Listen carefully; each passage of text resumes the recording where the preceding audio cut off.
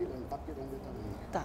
São 11 horas e 44 minutos. Vocês estão vendo que eu já estou com o entrevistado aqui. Vem cá, Vanessa, me traz essa, esse copo aqui, traz aqui para mim. Ela quase entra aqui bem na hora, gente. Traz aqui que eu ajeito aqui as coisas. Se preocupa não. Se preocupa não que o programa ao vivo, a gente ajeita. Dá um oi, pessoal, lá. Oi, pessoal!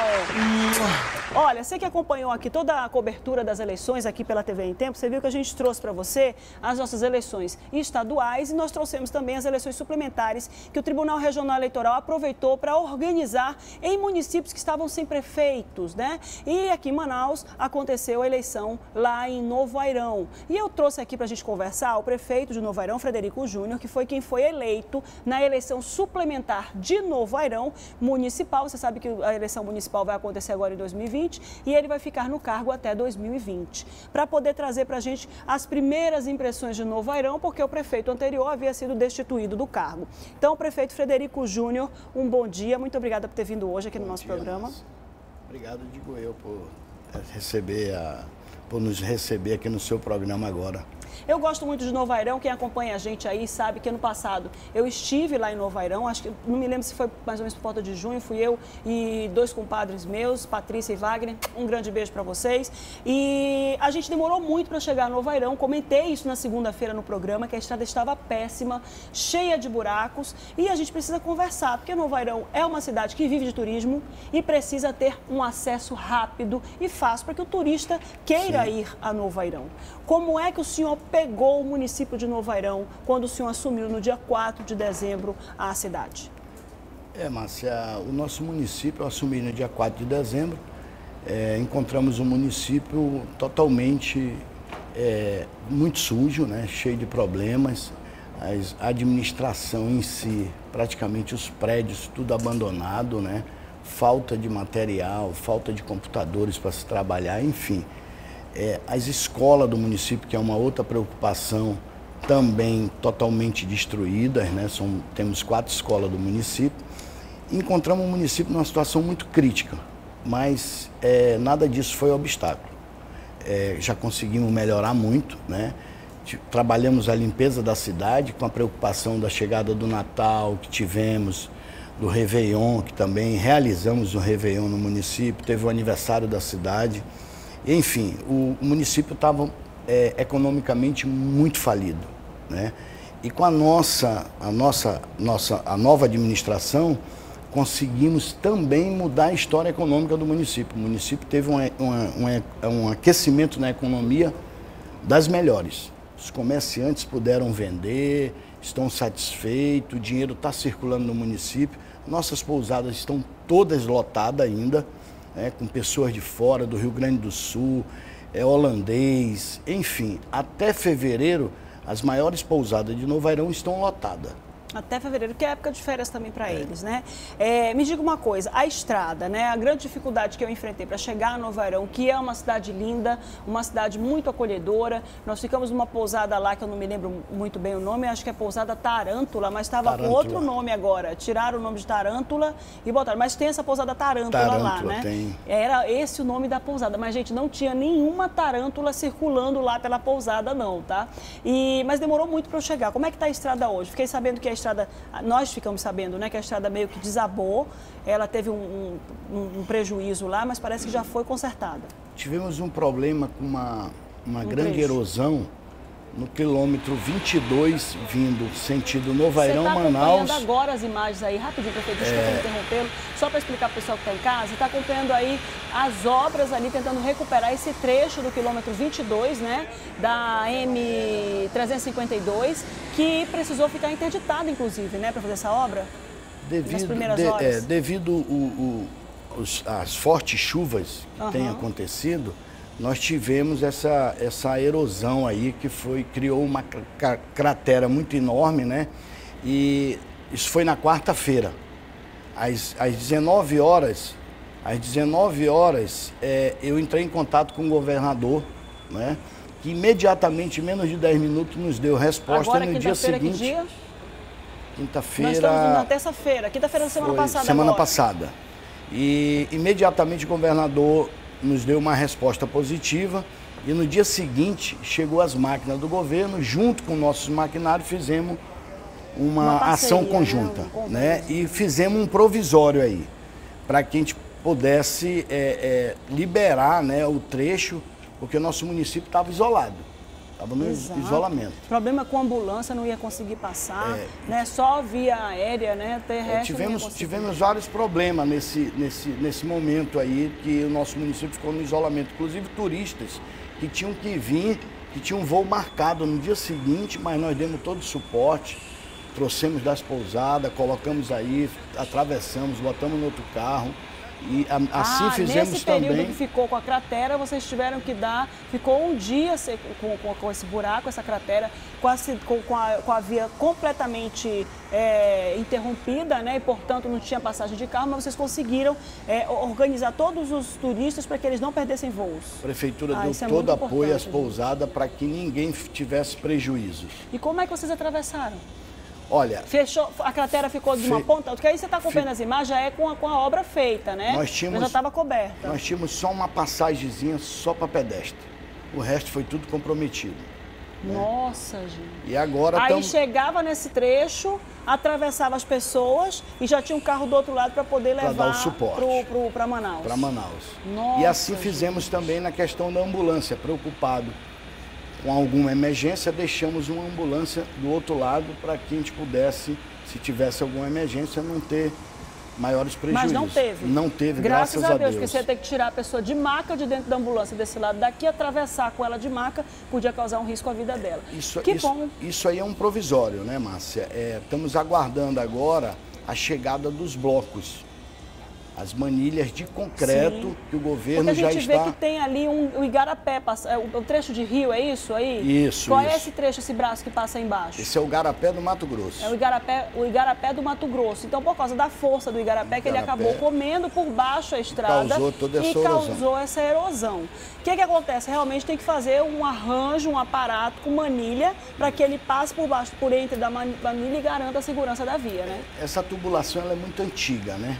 Uhum. Então ela não suportou a força, a do, força igarapé. do, do igarapé. Água, né? Então causou uma erosão ao redor do, da tubulação. Agora, com o trabalho que o governo do estado vai fazer, realmente nós vamos resolver o nosso problema nesse trecho. E tem um outro trecho na estrada que, que também já, já, já detectamos que pode vir a ocasionar o mesmo problema. Mas o governo do estado já está fazendo uma avaliação para que possa fazer um trabalho também definitivo para que a gente não tenha mais prejuízo. Se eu estivesse lá em Novairão nesse dia, eu ter que ligar para o Ivan e falar, Ivan, não vou conseguir apresentar o programa, porque eu estou presa aqui em Novairão e olha, parece que é... Ele está dizendo aqui, não ia tá nada de presa não, que o carro ia estar tá te pegando lá do outro lado. Do outro dizer, lado. Ivan, tô, vou, ficar, vou ter que ficar uma semana, acho que a obra aqui do prefeito vai durar uma semana, vou ficar uma semana aqui. Mas, e é... ele tá dizendo que já estava por dentro de tudo, ele já estava com o carro lá e ele lá, do outro lado assim, bora, travessa. Vem logo tem programa na segunda. Mas graças a Deus o problema foi resolvido. Sim, né? rápido, o né, O município prefeito? não passou por, por, prejuízos maiores, né? não, não faltou abastecimento, é, não tivemos problema grave na questão da, da saúde, de pacientes que estavam precisando de ser transferido para Manaus, então não tivemos problema nenhum, graças a Deus. A ação foi rápida, né? Uhum. E aí estamos com um serviço provisório, mas já já vai estar tá definitivamente pronto com a ajuda do governo do estado. O senhor falou que o senhor pegou o município numa situação bem caótica, com muitos problemas financeiros, os prédios públicos todos destruídos.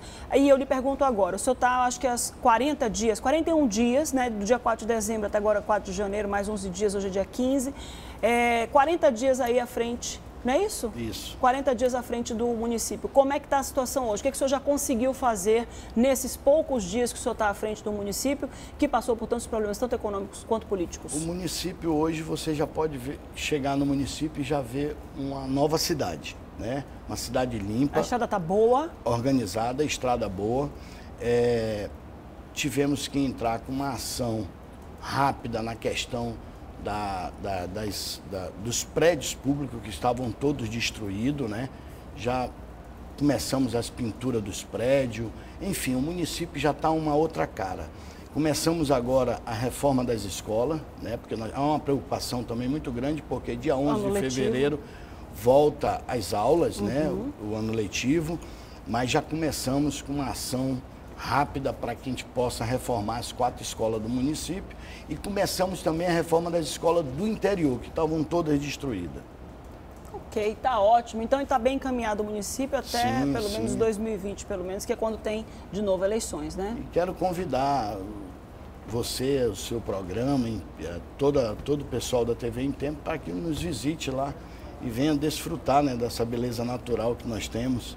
E agora vem o carnaval, né? Estamos se preparando para o carnaval. Se Deus quiser, até lá vamos estar com a estrada toda pronta, esse problema aí que, que, que nós com tivemos. Com esse improviso já definitivo, já, já definitivo, com, com um reparo definitivo, né? E fica aqui o convite. Ah, não me, não me chame não que eu vou, viu? É igual aquela música, não me chame não que eu vou. 11 horas e 55 minutos, tá ouvindo, né, Patrícia e Wagner, que acompanham o programa todo dia? A gente ainda tem aquela diária lá naquela pousada. Pensa que eu tô esquecida? Tô esquecida não. Bora correr com essa diária e vamos embora para Novo Airão, porque a estrada está ótima. Ninguém mais vai ficar com a carretinha de Will demorando muito pelos buracos, não, que não tem mais buraco lá na estrada não. Vamos logo co cobrar essa diária e vamos embora fazer lá a nossa visita a Novo Airão. 11h55, muito obrigada, prefeito. Obrigado, digo eu. Obrigado mesmo. Olha, a gente sai. Não, fique aí, peraí, que a gente vai terminar de beber essa água ainda aqui, enquanto eu chamo ali o Tadeu de Souza, que está lá em Parintins, e vai trazer notícias de polícia lá de Parintins. Então fica ligado aí que Tadeu de Souza traz os destaques do que foi notícia lá na ilha. Alô Márcia, alô amigos do Agora, alô Manaus, alô colônia parintinense radicada na capital do estado. Márcia, na madrugada de hoje, ladrões arrombaram a escola estadual Aderso de Menezes, aqui no bairro da Francesa, na zona leste da cidade de Parintins, e causaram um prejuízo superior a 10 mil reais. O arrombamento foi registrado pelas câmeras de segurança do educandário. Dois homens encapuçados entram na escola. Um deles está com uma faca na mão. A câmera registrou o momento que os mesmos deixavam a escola levando 12 computadores de mesa, três notebooks, uma quantia em dinheiro e celulares. Agora, pela manhã, investigadores da Polícia Civil estiveram no local. A gente lamenta e peço apoio dos meios de comunicação, da justiça e da comunidade para que a gente encontre ah, esses rapazes, esses bandidos que estão tentando é, sucatear nossa escola. Márcia, a polícia já tem algumas pistas que podem levar aos arrombadores aqui da Escola Estadual Aderso de Menezes. Volto com você no estúdio, Márcia. Obrigada, Tadeu de Souza. E pensa que só tem assalto lá em Parintins? Não tem não. Lá em Iranduba também tem assalto e um idoso foi vítima de um tiro no rosto depois de ter um assalto, depois de acontecer um assalto na casa dele, lá em Iranduba. Quem conta essa história direitinho pra gente é o Bruno Fonseca. Olha só que absurdo, Márcia. Na madrugada dessa segunda-feira, no quilômetro 1, no ramal Santo Antônio, no município de Iranduba, região metropolitana aqui de Manaus, é, homens armados entraram na casa de um senhor que aparenta ter 70 anos. Ao perceber que o disjuntor da casa dele foi desligado, ele foi ver o que tinha acontecido quando encontrou vários homens fortemente armados. Foi aí que um desses homens deu um tiro no rosto do senhor Apolônio. A polícia não informou o que, que eles levaram da casa, mas o que se sabe é que o senhor foi levado para a unidade hospitalar e a polícia está atrás desses bandidos que foram lá incomodar, foram lá cometer esse ato de criminalidade da casa desse senhor que mora lá no, no, ramal do Santo Antônio e a gente vê aí esse absurdo acontecendo, né, Márcia? Que tristeza. A polícia vai achar esses criminosos e com certeza colocar atrás das grades. Bruno Fonseca, para agora. Meu irmão, quando não tá a hora, não é a hora da vela se apagar, a vela não se apaga, né? Minha gente, olha onde a bala pegou no rosto do, da vítima, no rosto do idoso, e ele tá lá sentado para contar a história e a gente espera, torce fortemente para que ele fique bem. Tomara que ninguém diga aqui no meu ouvido que o, o, o coitadinho faleceu. Ninguém apareceu ainda para me dizer que ele faleceu, não. Parece que ele está bem, recebeu atendimento. Como é que pode uma coisa dessa? É por isso que a gente diz, vamos viver a nossa vida um dia depois do outro, né? Com tranquilidade, com leveza, porque a gente não sabe a nossa hora, mas quando a hora tem que chegar, ela vai chegar. E se não for a hora, não foi e acabou. Se não for a hora, não é a hora e acabou. É como diz Alexandre Borja, lá do, do, do, do, um amigo inteligentíssimo, médico inteligentíssimo que eu conheço, que ele diz assim: não tem bala perdida, o que tem é bala achada. A bala é achada, é para aquela pessoa. Infelizmente é assim que acontece. 11 horas e 59 minutos, você que acompanha o programa da comunidade. E sabe o que, que me chama mais atenção nesse caso desse idoso? Ele não reagiu nem nada, não. Ele foi lá para poder, parece que, disparar o disjuntor e aconteceu isso e o coitado foi surpreendido por uma bala. Ainda bem que ele não morreu. 11:59. Vamos falar. Você que tem doutorado acompanhando a gente, liga para a gente 3307 3951 3307 3952 e tem o nosso WhatsApp também. Manda o um recado e eu quero deixar aqui a pergunta para você ligado com a gente. Você quer que o Emerson vá até a sua casa no nosso quadro Na Minha Casa Agora? Então manda aqui no nosso WhatsApp. Sim, Márcia, eu quero, porque está no ar o nosso quadro Na Minha Casa Agora.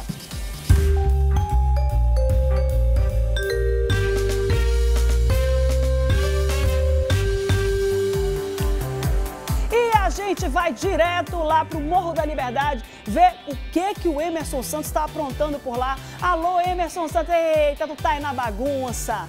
Tá do jeito que tu quer, né? Oi, Márcia!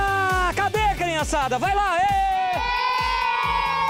Márcia, eu estou aqui no Parque Residencial é, Liberdade, aqui no Morro da Liberdade, porque hoje tem um quadro na minha casa agora, com muitos prêmios, é claro, do nosso novo parceiro desse quadro, que é o quadro Na Minha Casa Agora, do Tupi Supermercado, um dos melhores da região norte, onde você encontra de tudo que você precisa em alimentos para sua casa, o menor preço da cidade, você encontra no Tupi Supermercado. Mandar um grande abraço a todos que estão aí no supermercado Supermercado assistindo o quadro Na Minha Casa Agora. E mandar um abraço também a todos os meus amigos da Sala de Vidro que nesse exato momento estão assistindo Emersonzinho aqui no quadro Na Minha Casa Agora. Seguinte, bora trabalhar. Curumins, calma aí, Curumins. Olha só, deixa eu entrar aqui na casa da telespectadora. Tudo bom com o senhor? Tudo bom. Qual o seu nome? Francisco. Seu Francisco, qual o seu nome? Maradona. Hã? Maradona. É bom de bola? É, né? Tá certo. Tudo bem com a senhora? Qual o seu nome? Júlia. Dona Júlia, posso entrar na sua casa? Pode. Então pronto, deixa eu entrar aqui na sua casa. É uma taberna aqui, né? Ah, qual é o nome da taberna aqui? É Mercearia Mendes. né? Mercearia Mendes, né? Aqui é sua geladeira ou da, da taberna? É da taberna. É da taberna, né? Agora quero ver aqui na sua geladeira aqui, o que, é que nós temos aqui. Olha, tem bisteca. Ah, olha aqui, nós temos aí o jaraquizinho, quem come não sai mais. É, daqui. Pronto, aí nós temos aí uma bistequinha temperada, tem um alhozinho, né? Hum, é bom frita, é bom assada de forno, viu? Aí tem um franguinhozinho aqui, bem temperado, né? É. E o que, que é isso aqui, mana? Isso, é- o Isso que- aí é o trigo pra fritar o peixe pra não grudar. ah, tá bom, tá certo. E uma- tem uma manteiguinha. Vamos às panelas, vamos ao menu do dia. Por favor, vamos lá. Aqui temos o quê? Levante a... Feijão com mocotó, gente. Meu Deus do céu. Olha isso. Ai, Olha só o delícia. mocotó. Alô, Nilza. Nilza adora mocotó. Olha só que delícia. Esse feijão tá maravilhoso. Cadê? O que que tem? mais? Tem um arrozinho. O que que tem aqui? Ei, o nosso diretor de jornalismo, Ivan Nascimento, ele quer uma marmita, tá? Prepare que eu vou levar. Franguinho no molho, no... Tomate. Hã? No molho de tomate. E também uma batatinha. Meu Deus, que maravilha, que delícia. Gente, comida caseira, sabe? Você que tá no horário do almoço, você tá pensando assim, o que, que eu vou almoçar? Tá aí, ó. Uma receita do dia. No oferecimento de Tupi Supermercado e também da nossa nova TV em Tempo. Quero saber da senhora qual o nome do nosso Instagram pra senhora seguir e você também, viu? Valendo essa maravilhosa, sensacional, tá trazendo. Olha aí, uma cesta completa de alimentos do Tupi Supermercado. Qual é o nosso Instagram? TV em tempo online. Tem certeza? Tenho! Comemora! Obrigada. Obrigada, Emerson. Que Deus te abençoe. Beijo, mana, beijo. Eu assisto Pronto. vocês todos os dias. Então manda um beijo pra Márcia. Márcia, Márcia, um beijo. Eu te amo, eu assisto todo dia teu programa. Tá certo! É o seguinte, tem mais uma casa, gente. É o seguinte, minha amiga. É, siga lá as redes sociais da nossa nova TV em Tempo, tá bom? Tá bom, obrigado. Tá? Tá certo, dá tempo ainda de mais uma casa, produção? Dá, deixa eu ir aqui, curumins, olha, é muito curumim, gente, curumim aguenta, faz festa! Cadê, deixa eu correr aqui, vamos lá, pega a Rui, vou na casa da nossa telespectadora, dá uma olhadinha aqui ah, ah, no, no, aqui no Morro da Liberdade. Aí são telespectadores. Ah, quem? Da casa de quem? Da Dona Dulce. Da Dona Dulce. Então onde a senhora mora, gente? Onde é? Aqui no 18. Ah, no 18, mas sobe escada? Sobe. Sobe mesmo? Eita, vocês estão em forma, hein? Graças a Deus. Tá certo, bora pega Rui.